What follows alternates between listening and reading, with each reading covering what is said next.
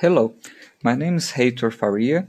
I like to study backups. I even have a, a book published at Amazon.com about Bacula Community, which is a very popular open source backup source. But today we're going to talk about the commercial commercial version of Bacula, which is Bacula Enterprise, developed by Bacula Systems.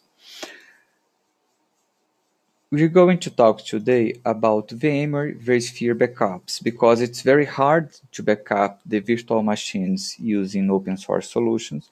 So Bacula Enterprise has a very special plugin which automates the backup of virtual machines.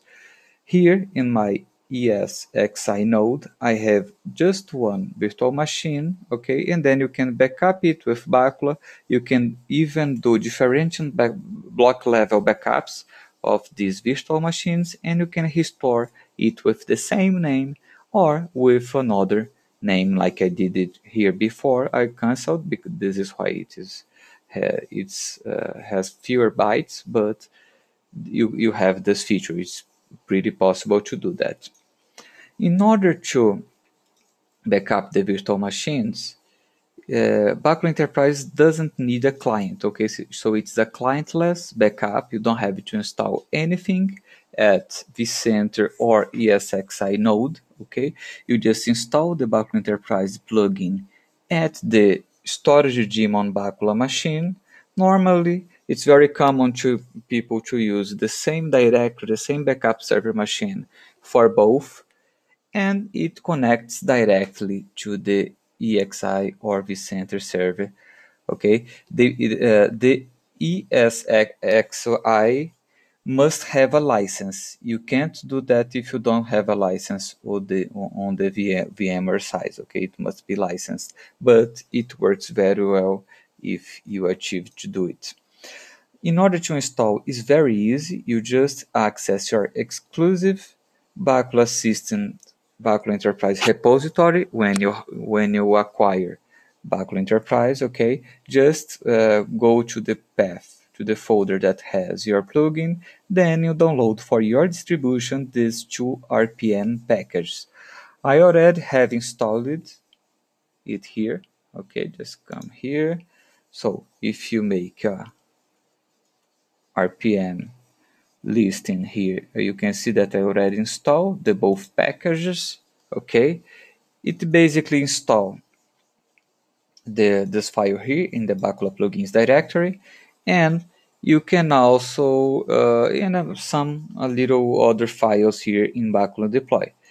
For example you must uh, in order to work you must just create a text file under the opt Bacula etc directory, which is Bacula configuration. Okay, this is very simple. And then put the credentials, your vSphere credentials. For example, here I'm using the root vSphere user and password, but you can use another user with restrict permissions. Okay, you don't necessarily need to use the the vSphere root user. Then you put the vSphere IP address, or it could be also name, uh, a qualified name. And here you put it also here. And then the thumbprint, which is a security information that you fetch. This is information from the vSphere, uh, from the vCenter, okay, or or from the ESXi. It's very easy to obtain from these uh, machines. Okay, just obtain the thumbprint. Okay, let me see if I have the comment here. I'm not sure if I have it. Okay, I don't have it, but I can put in the comments here after that, or you just ask me and I'll provide the comments. These are at the white paper, at our manual. We teach you how to fetch the, the thumbprint.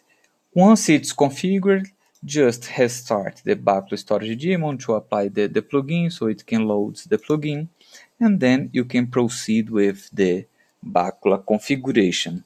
Just by curiosity, I'm recording these backups into FreeNAS.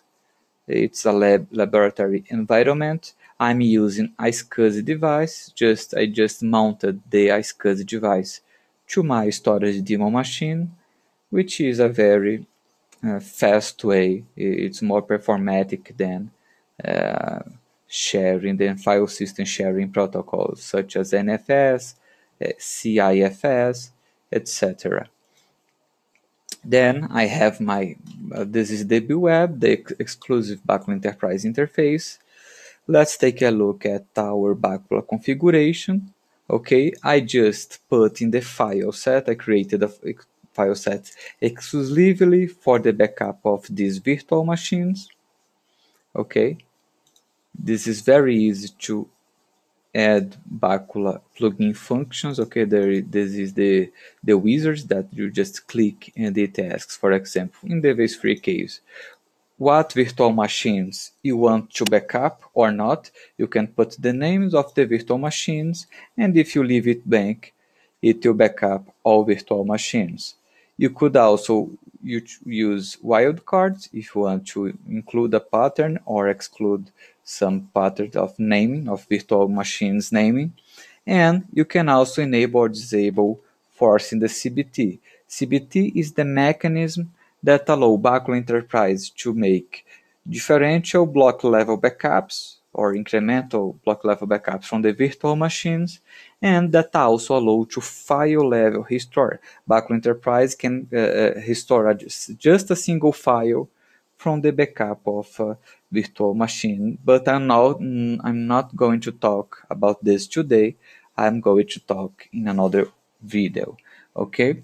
And then if you want to force kissing host, quiescing host or not, okay, which is making the host aware of Bacula's backup, which makes the backup more reliable. Uh, vSphere, I will just leave it like that, very simple, which will backup every single virtual machine, okay? If I proceed here, I can change compression, Bacula uh, supports uh, software compression here, you can choose the level, okay, or not. Signature, which the integrity, backup integrity verification, and then just apply if you don't want to change anything. You need the file set, which is what is going to be back, backed up, and you need also the job, which is the action of Bacula accessing the vCenter and back, backing up the virtual machines. Just choose the file set that you created, okay? You can use a different schedule, you can just another options here and then save. Once you created the file set and the job, you can come here to, to work set in order to commit and apply the configurations change. After that, you can come back to the initial Bacula Enterprise landing page come to jobs, define jobs, and run a backup, a test backup of these virtual machines. Okay, you can change the level. Let's put the, the first backup is always full. Let us run this virtual machine backup. Okay, it will keep refreshing the screen here Below here it tells you the log, it displays the log of the specific backup job and you can see that he's backing up the first and only virtual machine that basically I have la. Okay, so it it created the snapshot su successfully and then it going to export, export this virtual machine direct to Bacula storage daemon. Okay, this is the current speed my environment here is very limited, but you can achieve much larger speeds than this, okay? Here is 13 megabytes per second. Once you have done the backup, you can restore it to our, through our wizard, which is jobs landing page again, jobs web restore. You select the backup client, let me categorize it. Then you select the restore. I will I'll just choose the last full backup that I made from vSphere file set. Okay, let me select. Then you navigate in your backup. I have two virtual machines that my backup, my terminated backup job did backup, and then just select the folder of my virtual machine and this file here. It's important also to restore the virtual machine. It's like the settings of my virtual machine. Then you just accept, drag and drop here. I will not restore the virtual machine 2, just the first one. Then I accept the file selections. Every time you make a backup with a Bacula Enterprise plugin, you have a new tab here where you have the special restore options. This allows you to restore the virtual machine directly to your vCenter, which is great because reduces the RTO, it is very you can restore entire virtual machines very quickly okay? You can restore it for a different data store. You can select if you want to force a specific ESX host to restore you could also restore this virtual machine to a different name. For example ubuntu restored okay or something like that. And you also have another options here. Then you proceed to run restore and eventually it will access this uh, the, the ESX and restore the new virtual machine okay like I did before to this one. So you see this is very easy this is very friendly. Anyone can do that okay. Let me see if it's already restoring okay it, it's going nice.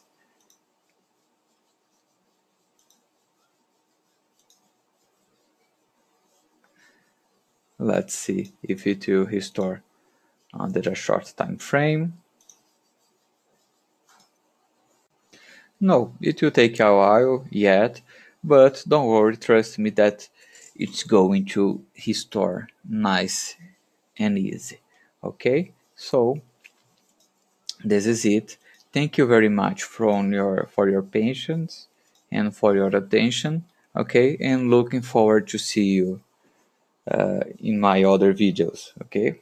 Bye bye